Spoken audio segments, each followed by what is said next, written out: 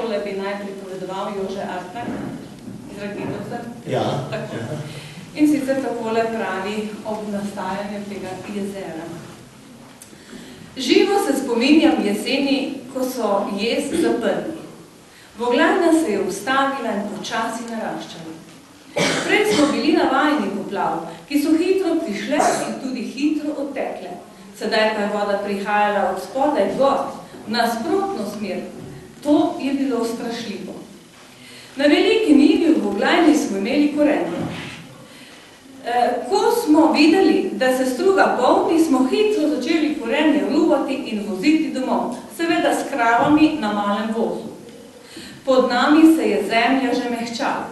Mi pa smo še kar polili korenje, kot da bi nam šlo za življenje. Ata in mama še spati nista mogla, ker jih je skrbelo, ali je tisto korenje že potopljeno.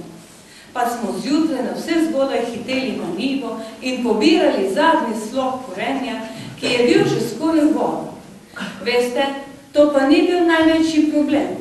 Grozno je bilo, da je velika voda segala že čisto do naših školnih.